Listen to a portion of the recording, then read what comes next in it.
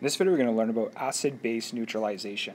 First, we're going to learn the definition of a neutralization reaction, and then we're going to write chemical reactions uh, for some examples of neutralization reactions. And then finally, we're going to calculate the amounts of substances that could be produced or required to perform a neutralization reaction. So a neutralization reaction is a reaction between an acid and a base. You may think of acids as kind of the opposite of a base, and when they're in contact with each other, they're going to basically completely obliterate each other. It's kind of like one is a superhero and the other is a villain, and when they come together, they're just going to completely destroy each other. In general, when an aqueous acid base reaction takes place, it's going to produce water and a salt. Now, the word salt isn't just referring to sodium chloride, that is table salt. It's referring to an ionic compound, something that's made up of a cation, that's something with a positive charge, and that's usually a metal, and then an anion, which has a negative charge, and these two things will come together and form that salt. So let's look at an example of an acid-base reaction. We have hydrochloric acid, that's this thing right here, is reacting with sodium hydroxide. Now, usually the thing that starts with an H is going to be the acid, and then the other one, the base, will generally have OH at the end.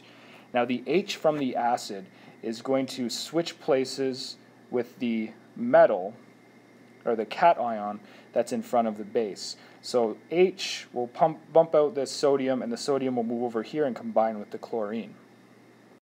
So in this reaction, we're going to end up with the H combining with the OH, and so we'll end up with something like this. But we can rewrite this a little bit better way. We have two hydrogens, so we could just say H2O. And that's where the water comes from. The sodium will combine with the chlorine, and that's going to form the salt, so we end up with water and salt. Here's another example. Now in this example, we have a diprotic acid. That is one with two ionizable hydrogens. That's this right here. So this is sulfuric acid that's going to react with potassium hydroxide. The same thing's going to happen where we'll have the hydrogens switching places with that metal that's in front. And it's going to be really important that we remember that we're going to be producing ionic compounds. So, in other words, things that have positive charges and negative charges. The charges within a compound have to balance each other. So, the total number of positive must equal the total number of negative. So, when hydrogen is an ion, it's going to have a plus charge, H plus. And when hydroxide is found alone, it's going to have a negative charge. So since I have a positive 1 and a negative 1, those balance each other. So I only need one hydrogen ion and one hydroxide ion. And so that's where this H2O comes from. Now you may be wondering, well, where does that extra hydrogen come from? We have one here and we have two over here. So that's a total of three hydrogens, and I only have two listed on this side. Don't worry about that yet. We'll balance this thing at the end, and you'll see how all that works. Next, we have the potassium which has a plus 1 charge. And I know potassium has a plus 1 charge because I can look at where it is on the periodic table. It's right here in group 1, and everything in group 1 is going to have a plus 1 charge. That's why hydrogen also has a plus 1 charge. And then sulfate is going to be the SO4 part of it. Now this is a polyatomic ion, and there's a list of polyatomic ions that you really should memorize, or at least have a list available. SO4 has a 2 minus charge. And so we have to get these two charges to balance out. I'm going to have to add an extra potassium in order to get a total positive charge here of 2 plus to balance that 2 negative. Okay, and so I've written that formula right here showing that there's two potassiums, K2SO4. Again, you may be wondering, well, where do we get that extra potassium when we only had one over here? So the next thing we can do is we can go ahead and balance this chemical equation. When we balance a chemical equation, we're going to change the coefficients that are in front of each of these symbols. Right now there's nothing here, and so that just means there's one of each. So we're going to adjust those values in order to balance this. So first I'll start with the potassium. And I'm just going to add a 2 right here in front of that. And it's going to multiply everything here by 2. And so I have two potassiums now, which balances this on this side. And then I have a total of two hydrogens because that 2 multiplies that by 2, plus these two, so I have 4 hydrogens right now.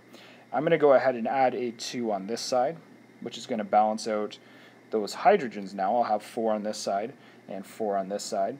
And then everything else will be balanced. I have one SO4 here, one of those SO4s over here, and then I have these two oxygens with these two oxygens.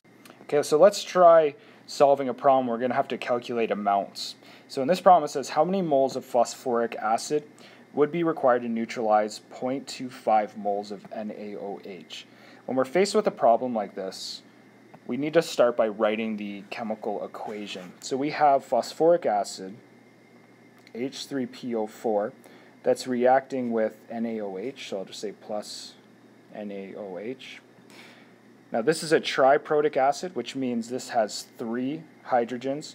We'll still do the same thing where they're going to switch place those hydrogens with that sodium.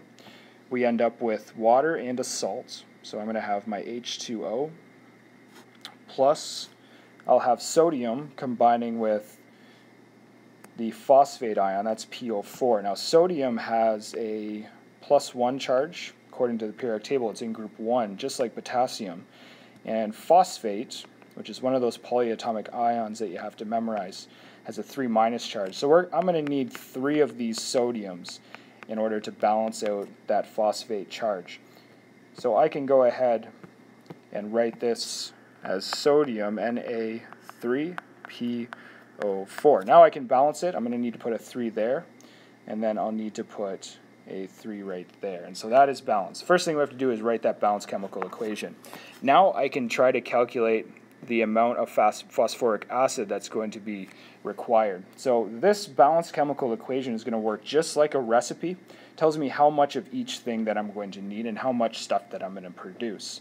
This recipe calls for three times as much sodium hydroxide as acid. That's what these coefficients are referring to. So it works just like a recipe that would use cups. We could say three cups of base for one cup of acid. This is just using the unit of moles. Three moles of base for one mole of acid. So to solve this problem, we're going to create a ratio that compares the amount of acid to base. Now, so what I like to do is write down what I'm given in this problem to start with. That's 0.25 moles of sodium hydroxide. And then I'm going to multiply that by the ratio that compares acid to base. Now I'm solving for the amount of acid, so I'm going to put that on top and then the base is going to go on the bottom. Now if I look at this ratio, I have one third the amount of acid to base. So I'm going to just going to take these coefficients right here. There's a 1 in front of that. When there's nothing, we just say 1, and there's a 3 there. So I'm just going to go one-third like that.